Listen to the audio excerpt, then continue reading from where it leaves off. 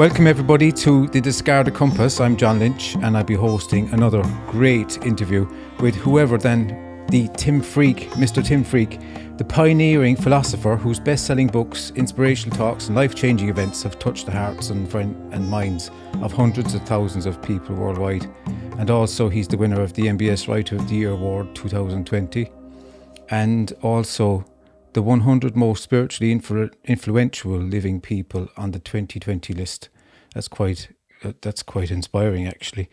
And we're going to talk, I hope, about unividualism, a deeper way of living, and uh, and things like that. And Tim has a website, just in case I do forget later on. It's called www.timfreke.com. Tim, welcome. How are you, sir?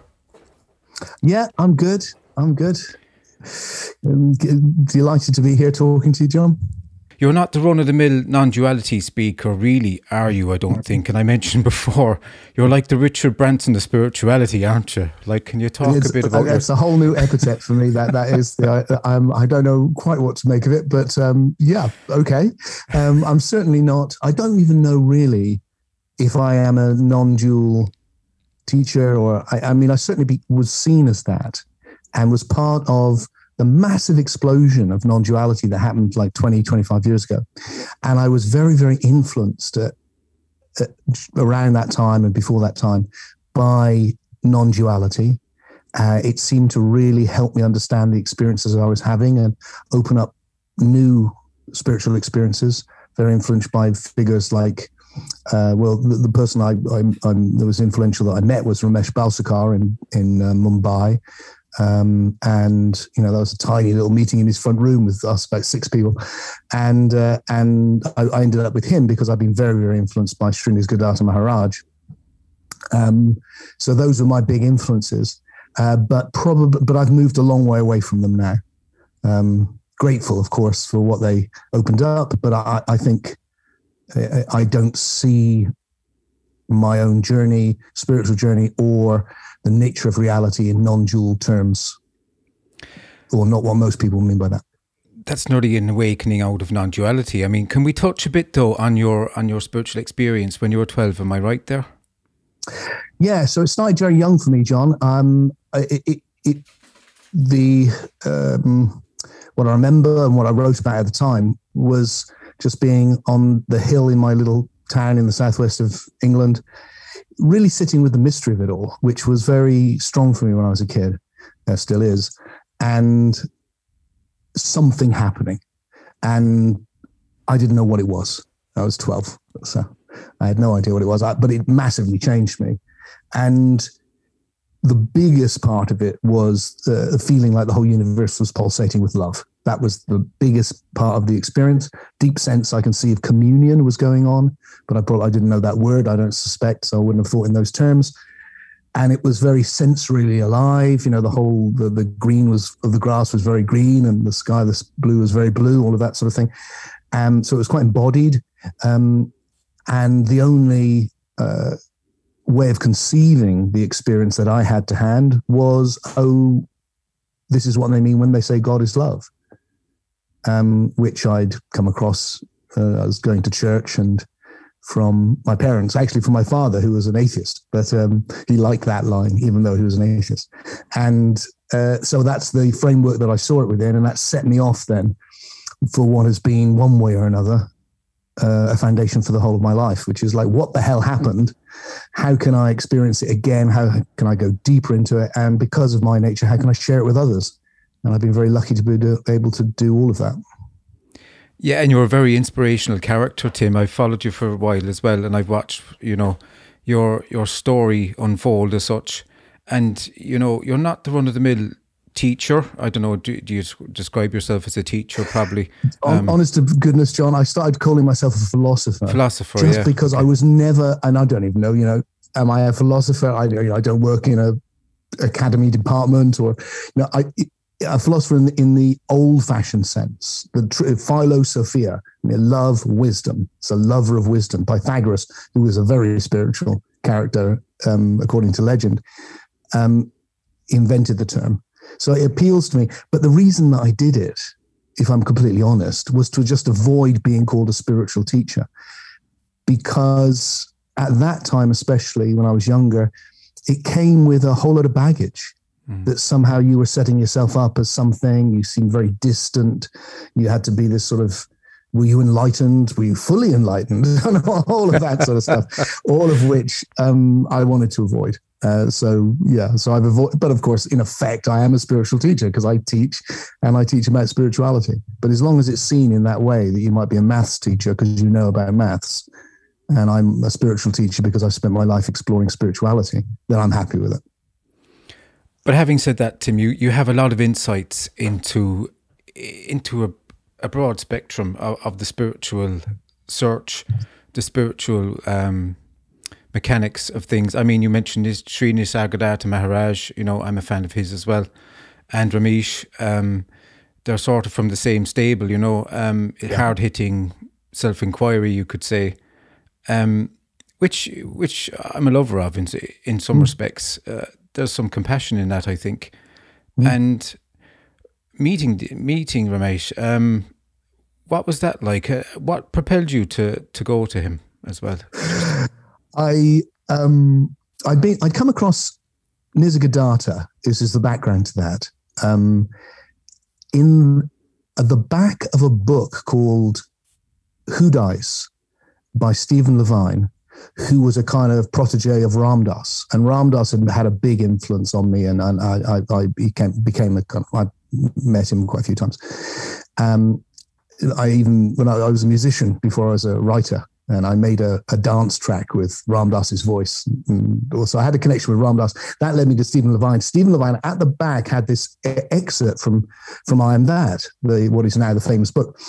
I'd never heard of it. I'd never heard of him. I read it, blew my mind. I thought I've got to get this book. Couldn't get the book. I mean, there was no Amazon in those days, and uh, no bookstores had the book. And so I had to send away to India. I traced it down to an Indian publisher and got these Indian books through, read it, blew my mind, and bought a copy for all of my friends because it was a level of clarity that I just hadn't come across. And it was addressing this deep experience of, of uh, no self, of oneness, which was opening up for me. Um, but he was dead, and that was that. And uh, I had a girlfriend at the time who was into Sai Baba, uh, which I wasn't really. Um, I'd been into a guru when I was much, much younger, and I was gurued out. It just felt like no, it's I, I, I just don't want another guru cult.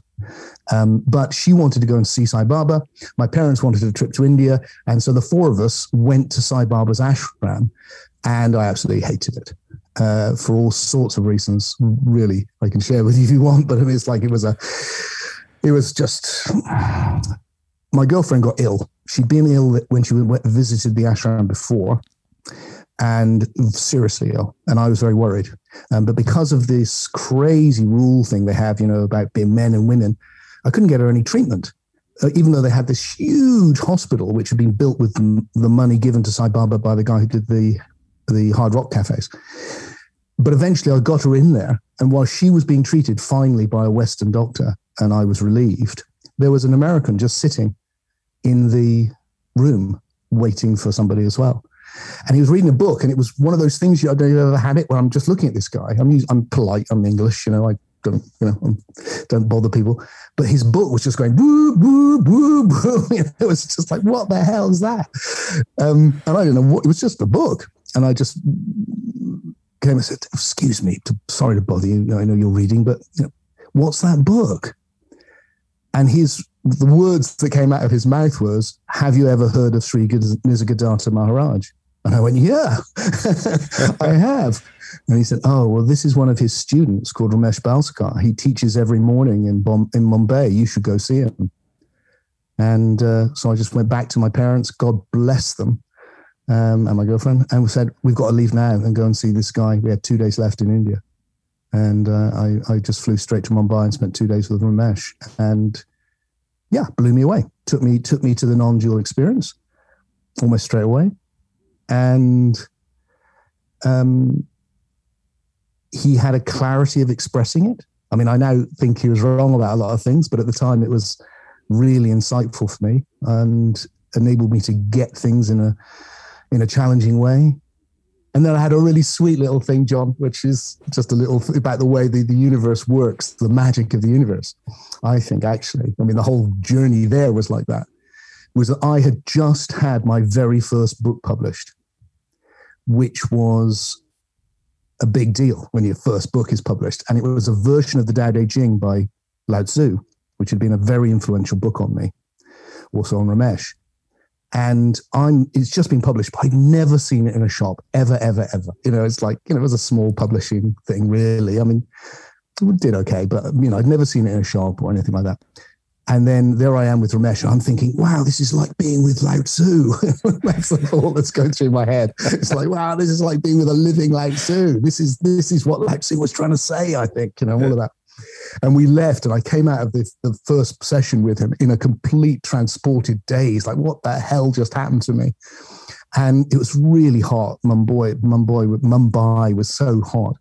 And I just saw this great big shop and air conditioning was coming out of it. I could feel it. And I just said to my girlfriend, let's just go in there to cool down. And I just walked through and it was a bookshop, huge bookshop, just walked straight through and there right in front of me, oh, right in front of the entrance, there was my book.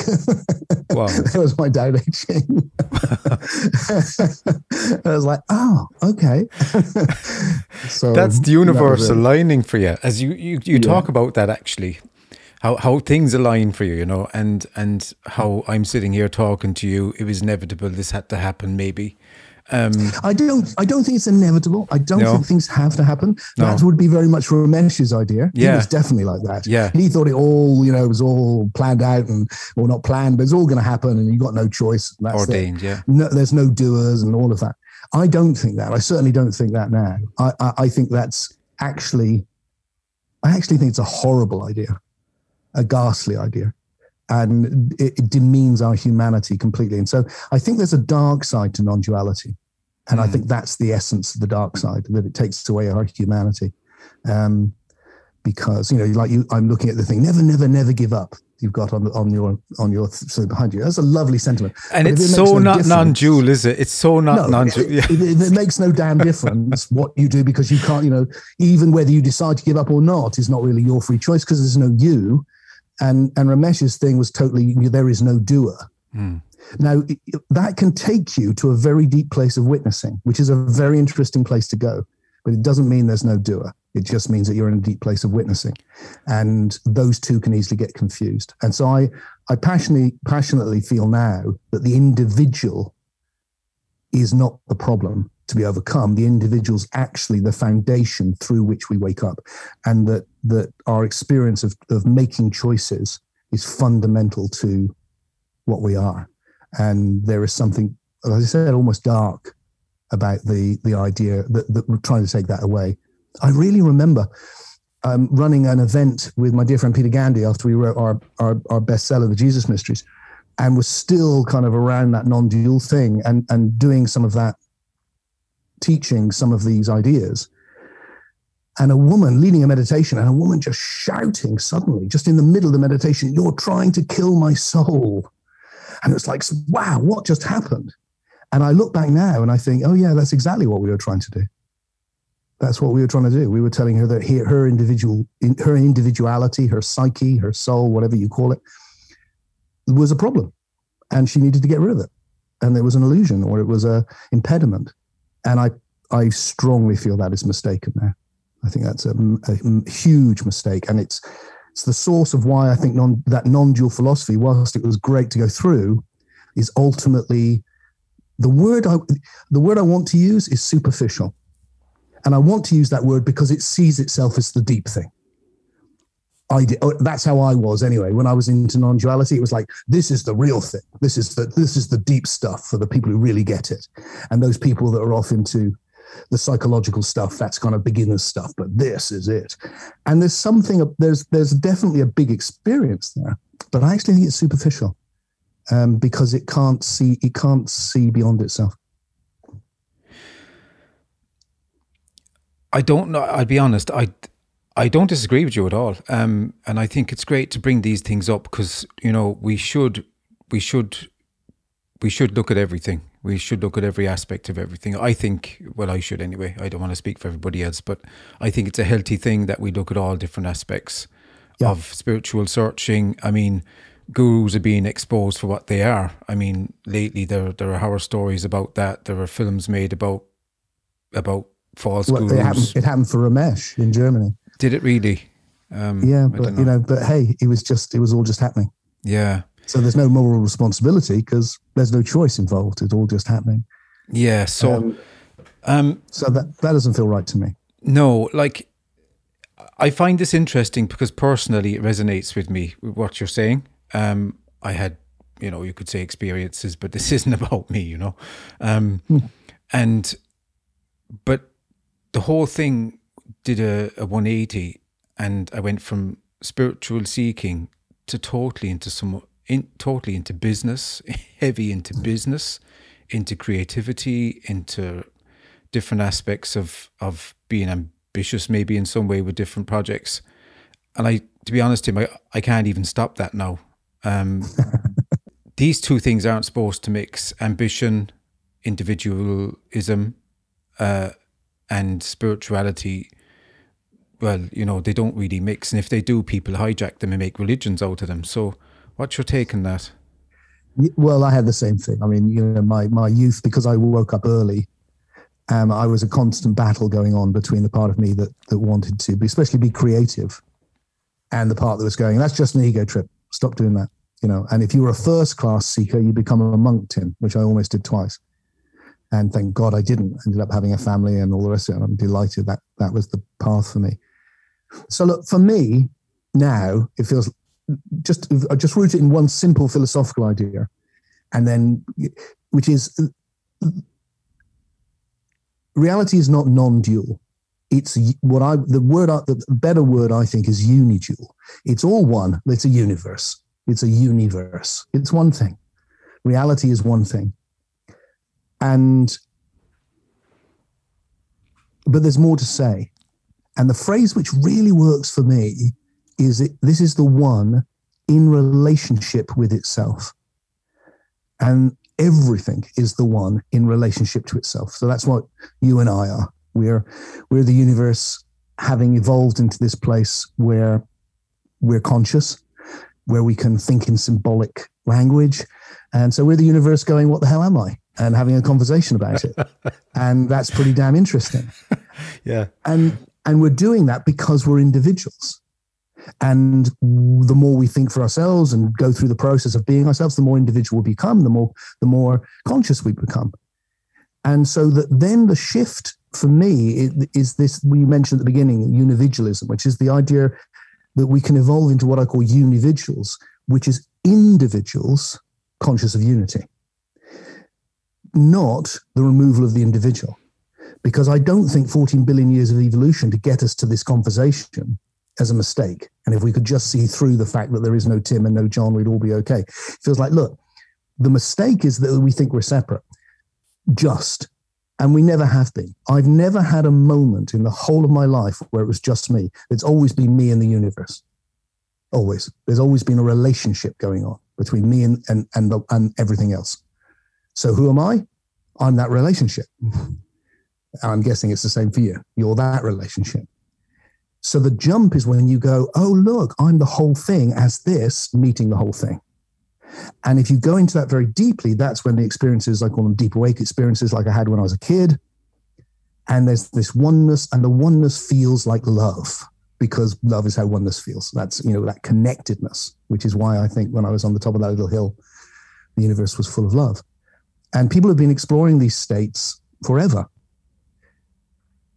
But the mistake that gets made in spirituality is that is the idea that there is that it was all worked out whenever 2000 years ago 2500 years ago in the case of india or whenever it is. And that's it. Whereas actually our understanding needs to keep evolving. And so non-duality was a big jump forward for me personally and then i had to go beyond it but also for the whole culture human the evolution of the human psyche and it's really but it's been you know like most of the the philosophies that came through at that time is it is about two and a half thousand years ago and we know more now so we need to keep it moving, and and that's why I think it's time to to dump those um, those ideas and develop new ones. But the experience is, um, and and actually the experience gets richer. I think there it's can be something which you see in non-dual groups. Don't you think that people get very detached and can get very cold? Whereas when you come through the individual, that's when you get the love and the connection, and it's very embodied. It's a beautiful thing. I agree. Yeah, yeah, and it's slippery path. People have to have some sort of spiritual integrity comes into my mind again, and it's it's often come up. It came up in another podcast as well. It's about integrity, isn't it? In some way. I, I, I really that's that's my thing about being you know avoiding spiritual teacher. It feels like what I really want, and is to do what we're doing now. I want to co- communicate with other human beings who are really interested in this, like I am, and I want to try and be Tim.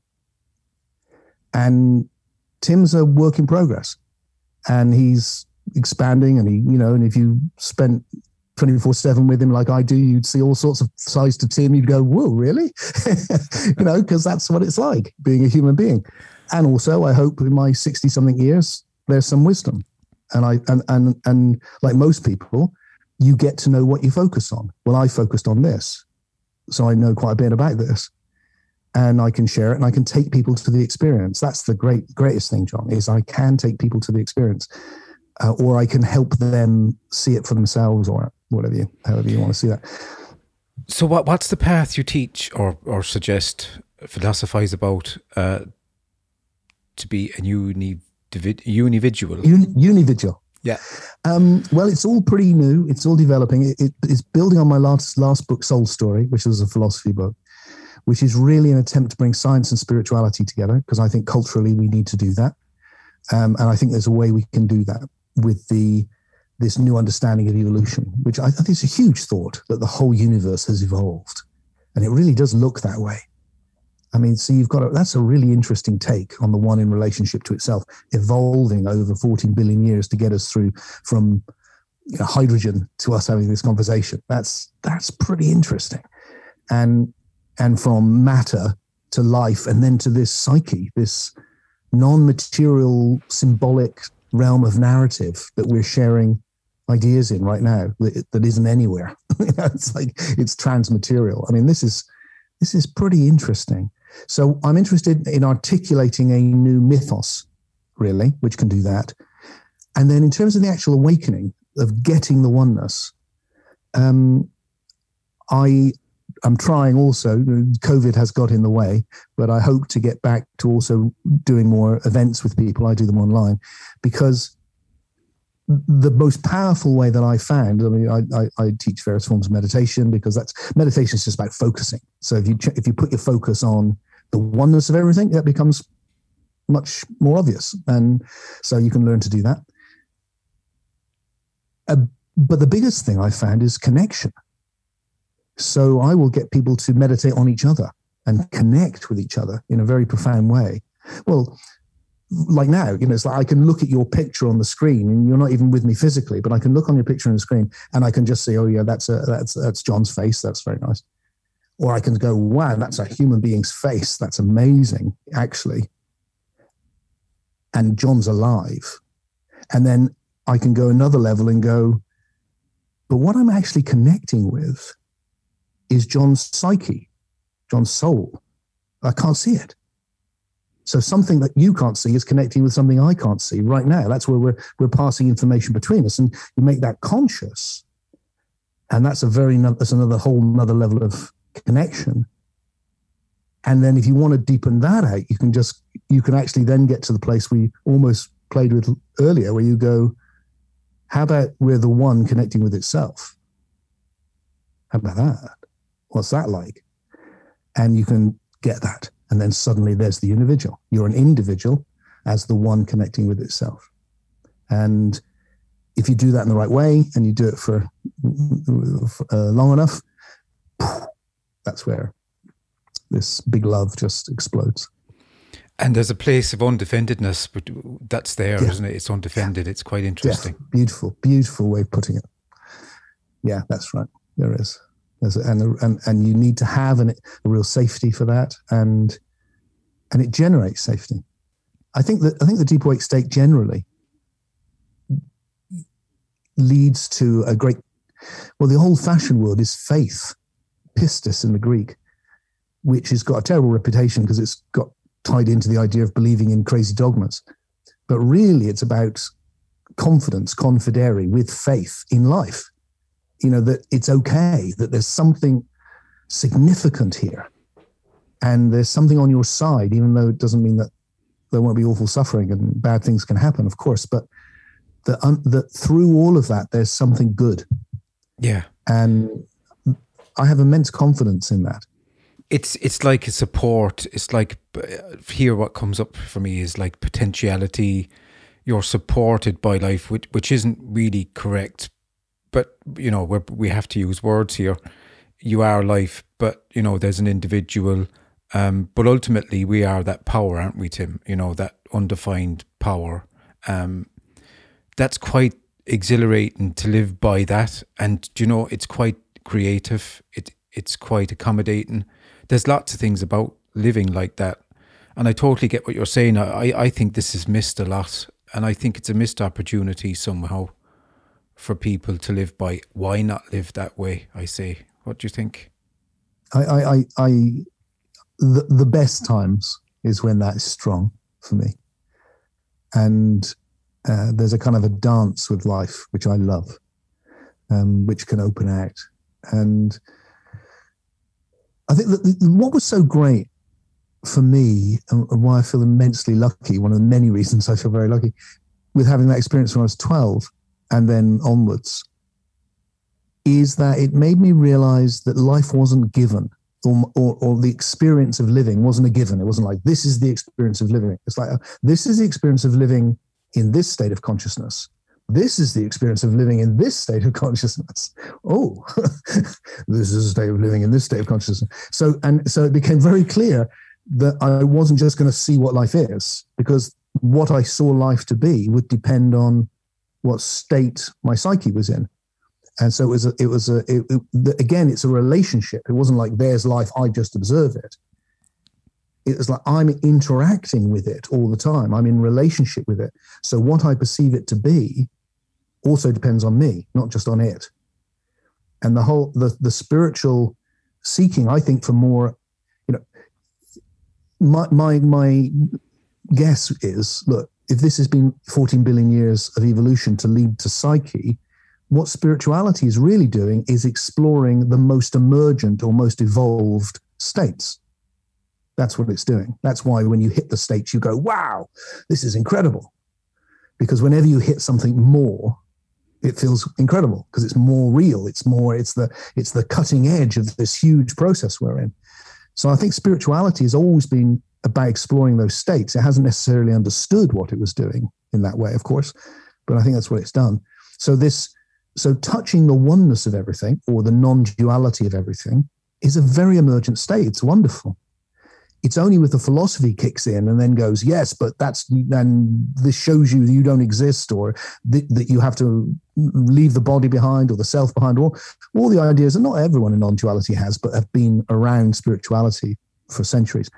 When they kick in, then it becomes you lose your connection with the world. But that doesn't have to happen. You can, you can have a non dual experience by, by simply concentrating on the oneness or the non dual or the formless and you can become completely immersed in it so that you don't feel you exist as an individual. You do.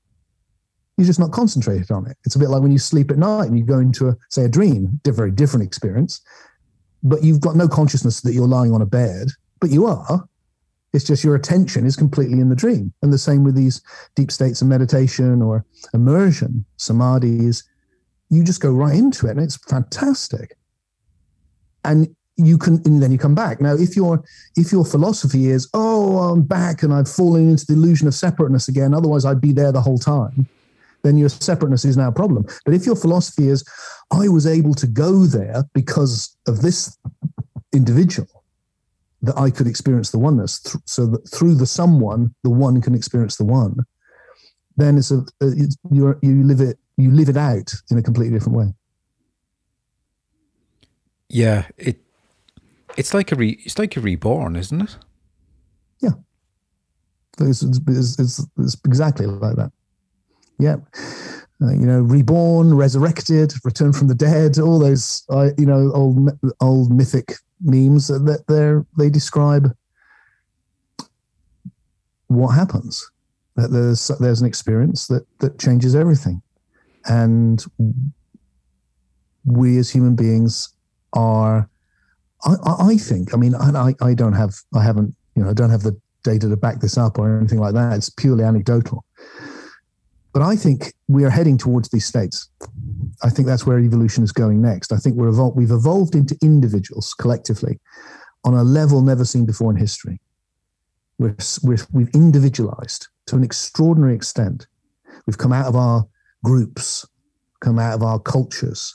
We're not divided just into men and women. You can be, you know, you you you are yourself. You're an individual now. There's a long way to go, but we, it's unprecedented in history. So that's happened or is happening. And my observation is I think we're opening out into oneness. So that, that as we become more individual, we're also caring more about humanity as a whole rather than just our tribe. That's a huge change, not happened before in history. A lot of people care about humanity as a whole. They don't know, uh, we don't realize what a big shift that is. We care about nature whereas previously nature would be something that would just kill us, a danger, something to avoid. We care about it. We feel connected to it. We care about animals that are going to be extinct that could rip us to shreds. This is all new stuff. And it's a sign of that expansion of unity. And then, you know, when I started stepping out to go, okay, I want to see if I can introduce people to the oneness. First of all, I had no idea how to do it. Secondly, I didn't rate my chances because it just seemed to happen when it happened to me. And, you know, who was I? But what I've seen is over the last 20, 30 years, more and more people, and I go, there's an experience of oneness, go, yeah, I've experienced that. Or I'd like to experience that. Or I feel I've been close to it. Or whereas before it was like, that's just abstract, weird thing to say. What do you mean experience the oneness? I don't even know what that means. That would be the reaction I was getting previously. So I think I think we are evolving from individuals into unividuals. I think. And even the I story hope. or the picture you're painting even speaks of unividualism. Yeah, um, that's exactly what it is. It it's does, that. yeah. And uh, I like the way you said that we're all individuals, and it's like I'm non-dual, and so is everybody else. It's kind of kind of like you know. so, yeah, yeah. It's um, but it's uh, what's coming up for me, Tim. Is it's slippery. It's a slippery slope as well for some people. Still, um, there's a lot of suffering, and to get people introduced to non-duality is very difficult because the ego does does not want to look at this because it's the end of the apparent ego. You know, you could say. Uh, uh yeah, I don't think any of that's true, John. No, so if you ta- if you take somebody and you go, this your ego is going to fight this because it means the death of your ego. What is your ego going to do? It's going to go no. if, if you go to it, if you can evolve yourself into a strong, healthy ego, you can have the most amazing experience of oneness, and it will feel like a completion of what you are because you'll realize that you are the whole thing. What does the ego say then? It goes, "Great, let's do it." Wow, that's that's a different way of looking at it. Um, yeah, it is, and and so we're creating all of these civil wars inside ourselves for no reason. Now, look, if you say to anyone, and this is where spiritual cults come from, you know, India, where all of this is really based, has historically been a very materially backward country for quite some time, full of religious cults if you want to set up a religious cult, this is the best philosophy you could possibly lay your hands on. Some people have just got it. They have the understanding, they have the experience, they can, they're authorities. Okay, so now that's part of a cult. If you think it's a problem, thinking's a problem. Stop thinking. Don't doubt, have, you know, believe in the master, all of that. That's so that's that's cultish. And there's a thing in you which wants to stop you getting this enlightenment which the other, the master's got. And you need someone outside of you who can confront you because you will never do it yourself. And it will try everything to stop you. Well, this is this is disastrous philosophy. Horrible, horrible, disastrous, negative philosophy, and will lead to all sorts of disassociation and breakdown and all this, all of which will be used to endorse the fact that what you're doing is such a str- must be true because it's such a struggle. At the bottom of it, you know, for me now, from an evolutionary perspective, it's like what, are you saying? Uh, we've 14 billion years to arrive at an individual, as, and really it's been a huge mistake. And if only we could get back to it all being one. It's like that doesn't make any sense. Or if you've got kids, you know, it's like what are you going to say to your kids? Don't develop into an individual. Stop thinking. What? it's like you know, that that can't be it. So I, I see it as a nexus. I feel like well, for many of us in my generation, we we didn't find what we were looking for in Christianity, although I went back and did find it in Christianity actually years later. And so we looked east. But we've been very critical of the superficiality of Western religion. And now it's time to, to have the same critique of Eastern religion. And it's also, it's just old. That's all it is. It's good for its time. And now we need to move on. I'm trying to unpack it out of my head what, what you've said. Sure. Um, One thing is coming up for me is a bit. So I don't know why it's it's coming up, but it's um. Then you mentioned the psyche. There's something that, thanks be to whatever, change can happen. Yeah, which is a yeah. wonderful thing. It's a potentiality that's there, and only for that change, nothing could apparently nothing could could go on.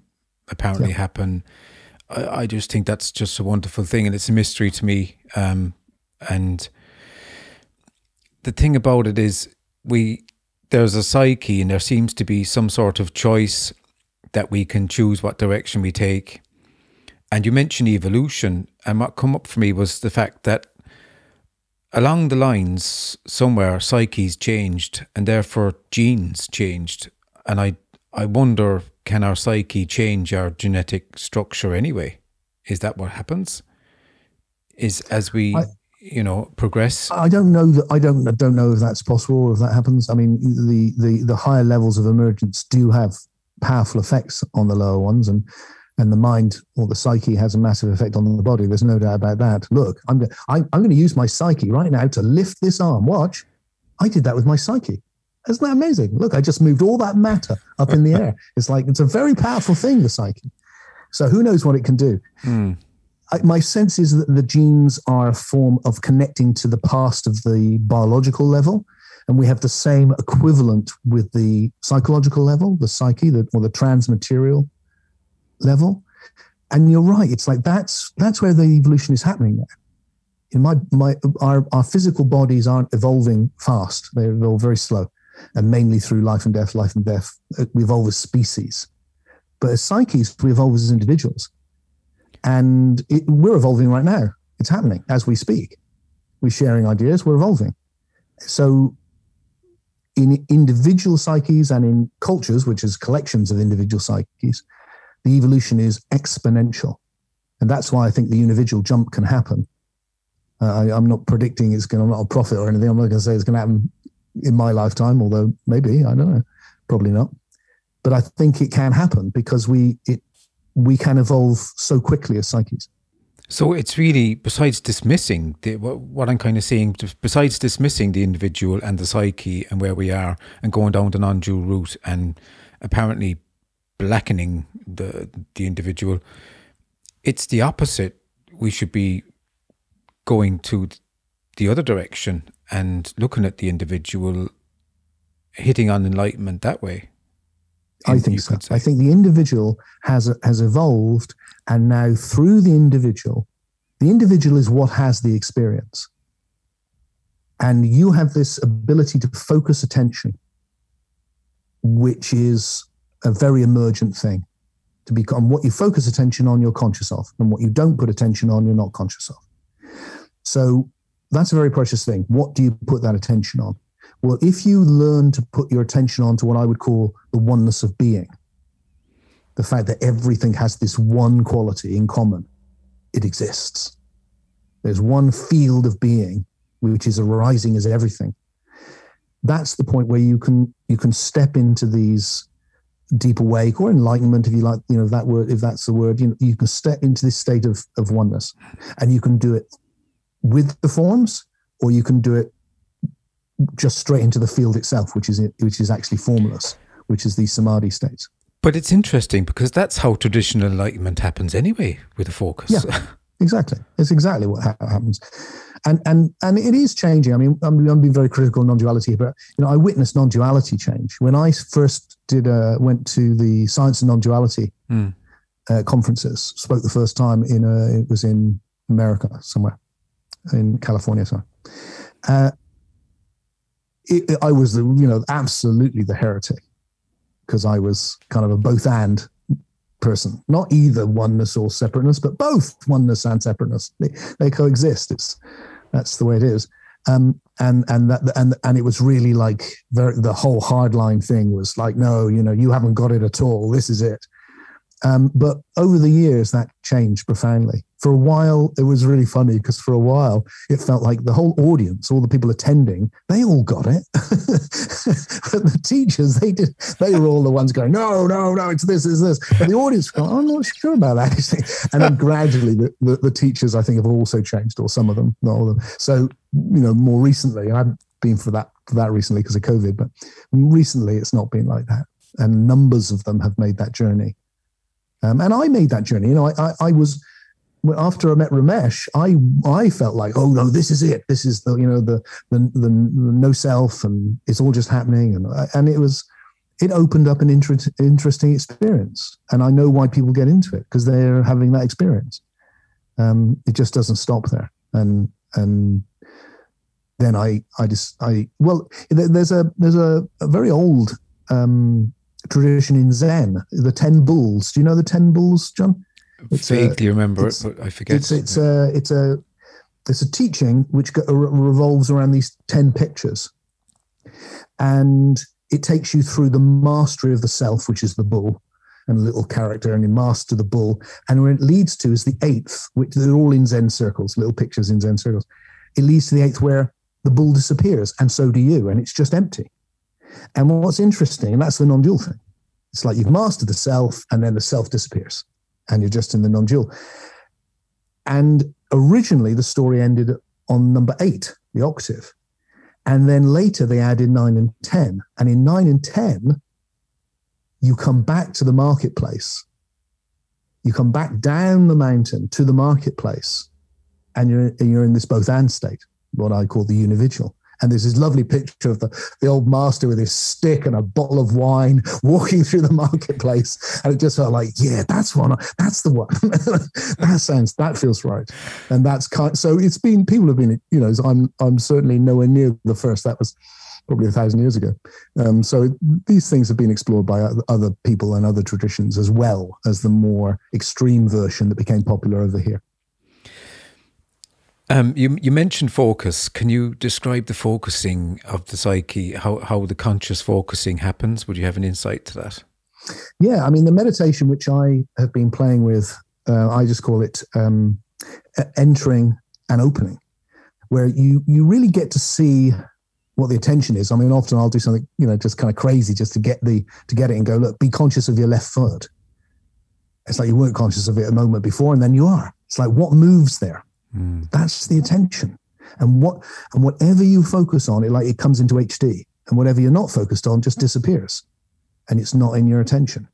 Whether you, and and that's in true true of thoughts, it's true of sensation and everything.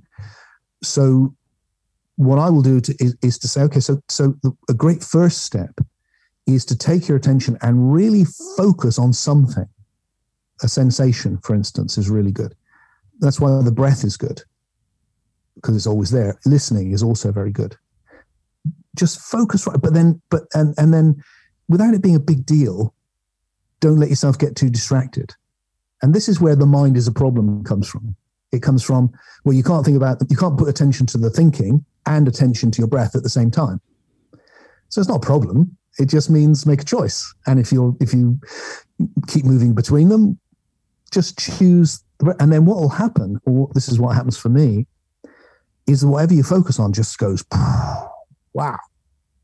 So when I was in my 20s and really discovered this during long periods of meditation, I thought, because I was being taught by Buddhists and all the rest of it, that I was being told to focus on my breath because it was so boring that I'd be enlightened eventually.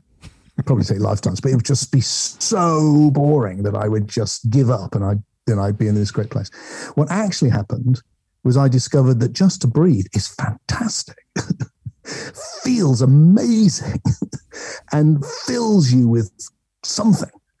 And and so if you focus on that or listen you can really focus in and just see, oh, when I focus on it, it comes into HD. It's like if you've ever done magic mushrooms or, or anything like that, and you you just find yourself just looking at some crease in your hand, and it's like, wow, have you seen this? and just that focus, where something is like a miracle, and it's the silliest little thing. You can do that with your attention, and when you get that, that's the entering, entering in.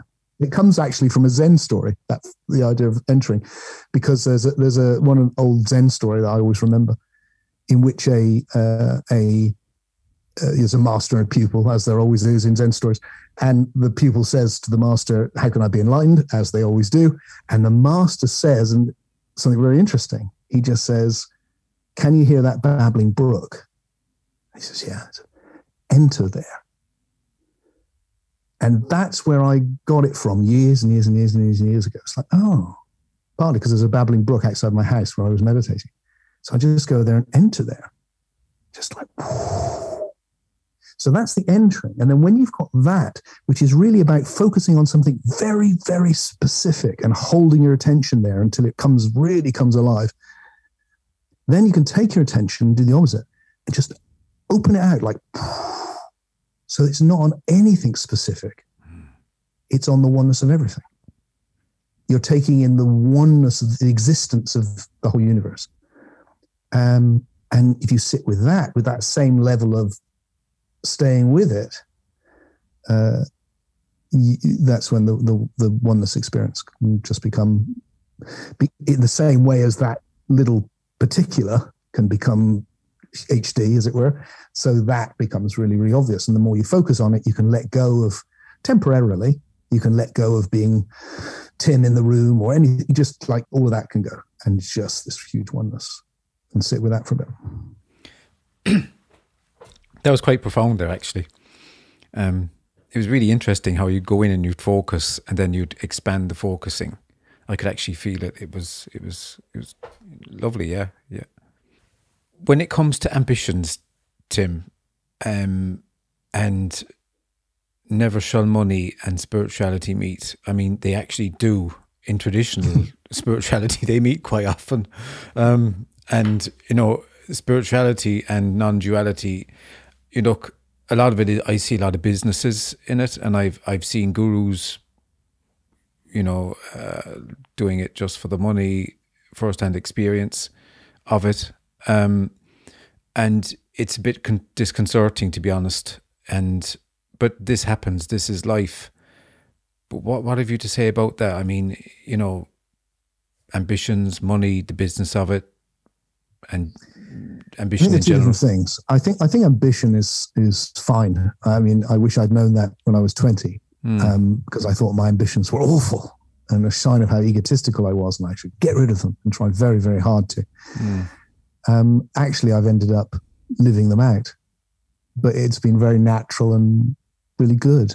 So I, I think my take would be: look, the universe seems to be the realization of ever more emergent potentials. That seems to be what it is. It's just constantly realizing another potential, new, new, new. And every new one is built on what's gone before. So if that's what's got us from, like I said, hydrogen to thoughts, then we're part of that, you and me. So built into life is its own purpose, which is to realize ever more emergent potentials. So I think it's natural that that John and Tim will if, if you know if we're really alive, we'll feel that drive to realize more, more be more, to, to to to bring more to the party, to to, and that can be more in every direction. You know, there'll be things about Tim which is unique to Tim, or he's a writer and he wants to do that, or a philosopher. Not everyone wants to do that, thank God. Um, and you will have your things and your business or whatever it is that you that's going. Oh, I need to do this. And then there's things which are universal, like like I think the awakening to our to oneness, to the unividual. That's the same. Um, but we'll do it on our own unique way. I do think that. And what works for me may or may not work for you. You may you may find that you enter it by doing the can can. You know, it's like you, it'll be something. You will be different, and the way that you describe it, and maybe the way you experience it, will not quite be the same because we're not the same. That's the whole point. So I think the ambition thing is like, yeah, great. And I want, you know, if I was dealing with, with a young person, I'd be going, yeah, just follow it. I think actually what I'd say to a young person, honestly, John, is follow your follow your dreams because they probably won't work out, uh, but it won't matter because in the attempt, you know, to, in the attempt to make them work out, you will form yourself, and that's what really matters. That's the key thing: is you form your own soul. And then there's a separate thing, which is should spirituality be messed up with money? I mean, it's never been really. I mean, I I I I, I have a I stay alive and I've supported my family and I've never have to I've never had to face massive money coming in and the moral conundrum of that. Um, and partly it's because it's never been about money for me. Uh, in fact, if anything, I would say I need to have a better attitude towards money um, than I've had because my natural instinct is just to avoid it. But that's kind of a head in the sand kind of thing. I have because I, I, have a family. I've been I haven't been able to live with my head in the sand, thank goodness. So I've had to get better at it. How do I feel about it when it, I mean, obviously, I think see word you said integrity. If it's done with integrity and someone can handle it and they're doing it well, I, I think it's okay. If it's not done with integrity, then it's not. I think it's it's probably as simple as that, really. And all I know is that for myself, the place I've always wanted to get to, and I'm closer to getting there now than I've ever been because I'm older, is the place where I can just do it for free.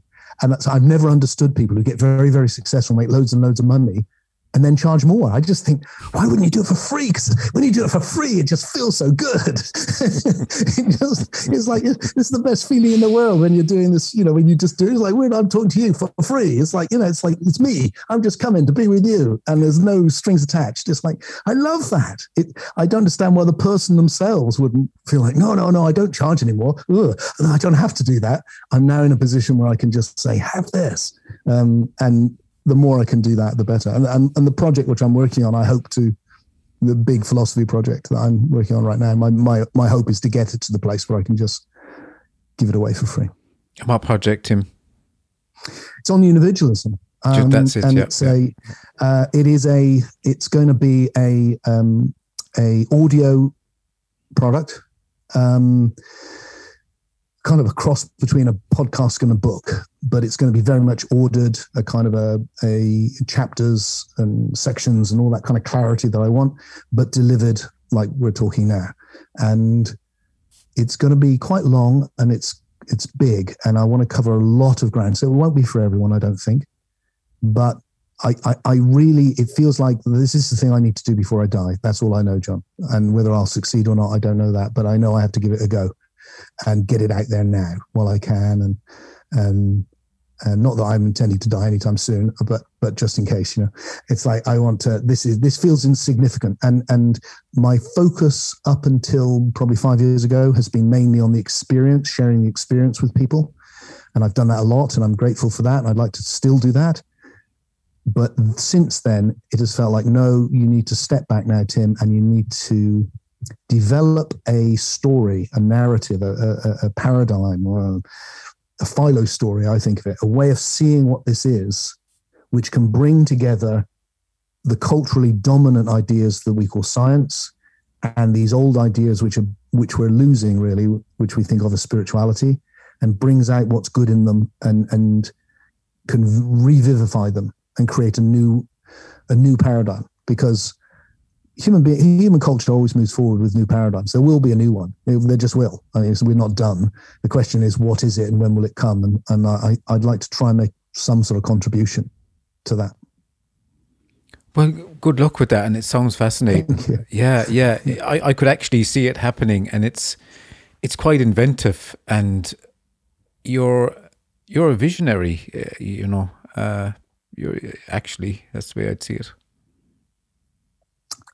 Yeah, that's probably that's probably. I think that is true. I think that's that is one of the qualities I have, and then it's a matter of you know what, what I envisage and whether it's of value to other people. And I love it you know, I get up literally every day. I'm in this little room working on it, and I've no idea why. because I, I, I know there's a very good chance not nothing much will come of it, um, but something in me, I've fallen in love with it, and it so that when I see what it is, it feels like, no, this is beautiful, and I need to give people the chance to be able to see it and go, nah, or oh yeah, thank you, that's really good and and for it to open up a new um, chapter in their lives. Yeah, and hopefully it'll make changes for people as well. You know, I really hope so. You know, because at the end of the day, the, the big thing for me with the word philosophy is it's not when I talk about philosophy. I, for me, it's not like an abstract intellectual. It's not like that. It's about changing how you see this. So it, so when you change your, your way of seeing or way of thinking, you're not in the same world anymore. So it's a so I see philosophy as like a kind of magic. It's like a philosophy, isn't it? it's like a what? Sorry, a philosophy. yeah, yeah, yeah, yeah. Uh-huh. You just like it. Suddenly, you're in a you're you can be in a you can you're in a different world. And I think the biggest thing that I I want now, it used to be to introduce people to oneness, still is, but more and more it's about wanting people to see how valuable their lives are and that their individual journey as that particular individual is not some meaningless chance event like science says or that philosophy of science says neither is it some illusion they've fallen into like some of the spiritual but actually it's a really significant thing and they matter and they they and, and to grab it while they can and engage with it and make the most of it and never never never give up yeah it's like a true relationship in what you're saying as well. You know, you discussed that before. It's like a there's a meeting, like a it's a wonderful meeting in in what you're saying. Yeah. Totally. And so that you're constantly in you are the you are always in relationship with the one. And if you see the one purely on the material level, then it's a cold, empty universe. But if you see it on the most emergent level, you're in relationship with God. And and then you know, when I'm with you, I can be on, I can do the same. I can be just like John, yeah, who's that? Or I can go, oh, well, there's God. Uh, interesting. And yeah. we can connect in that that deeper way. And then there's this love and benevolence and yeah. and it's and living's a completely different experience then. Tim, it's it's been wonderful uh, talking to you, and I can't wait to see where the unividualism come, comes in and, and where you go with it and the project sounds really fascinating and interesting. And even there, when you're talking about it, I kind of resonated with it, uh, and I, I, I felt it. You know, it was uh, it, it feels good uh, of an idea to well, think about. Yeah. I, I, I, you know, if anyone, if you or anyone listening to this is interested, the, the best thing would be to sign up for for my newsletter because then, uh, a because you get these little videos um, that I do and discussing it in advance, they come out. You get all of those, and and and B when it does come out, and I'm hoping it'll come out beginning of next year. I'm hoping. I thought it was going to be ready a year ago, though, John. To be honest, but anyway, I'm still hoping. Um, uh, and then you'll hear. And like I said, I, I'm expecting to to just make it available, so it'll be there for people. And then if people want to engage, I've started this thing a little while back, a couple of years back, called the International Community of Unividuals, or the ICU, because I do this gazing um, I thought we'll call it the ICU. And so I've got this community. It's a little online community. It's, it's only small, and it's people all over the world. It's just amazing. And we meet up on a Sunday night, and um, we do practices, and we share philosophy, and we ask questions, and we hang out, and we encourage each other to wake up to our individuality. It's very sweet. That's wonderful, Tim. I, I just want to give some people where they can hook up with the newsletter and also where they can find the yeah. international community of unividuals as well on yeah. your website or what? Or yeah, all on the website, and it's not. I mean, my name is an odd name, It's pronounced freak, but it's written F R E K E. And as long as you get that right, you'll end up. There's only one Tim Freke, thank God, and you'll end up on my website, and then it's all all there, and you can contact me as well from there. That's great. Thanks for that. Um, I'll have to pop in sometime, and uh, I'm interested in in having a go. Um, yeah, yeah, do do yeah. come along, John. And you know, and we it's not a subscription service. So it's not like, well, if you pay this much, you get this, and if you pay this much, you get this, and then if you pay this much, you get to be with Tim. None of that. Everyone gets the same, um, and it, and and it. You, people are very welcome to come as guests and just hang out and see what they make of it. And then what I ask then, if when, once people have decided, no, I'd like to be part of this, is I really think because it's a because it's about it's not just about taking, it's about giving. I just say, look, give something, give something um, so that you feel like you're giving to this, not just passively taking it. And that's it. And it can be anything. And some people it's very, very small, and some people it's much bigger. And, and that's fine because it's, and, and that also has that quality. You know, when I said earlier, I really want to give this away, it means I mm. can be there going, look, I'm giving this away. And if you want to give something back, hallelujah. Um, and I like that relationship. Wonderful, wonderful. Um, and you've got a lot of books there as well. You can buy on Amazon. I have to mention them because you've got a, a, load of books. Tim. Yeah, 35, 35 books. So. The, the two that might be relevant to our conversation is the last two, which is Soul Story, which is the evolutionary philosophy. That's where it started. And then the one before that is Deep Awake. And that's um, more about the awakening. Although, you know, warning, my ideas are moving on fast. So by the time the new one comes out, there's kind of areas I'm, I'm spending a lot of time disagreeing with myself at the moment and thinking I've been wrong about things. So that's that's happening faster than at any time in my life. So there are things in my old books that I actually disagree with now. Oh, that's very honest, actually. Yeah, it's quite yeah.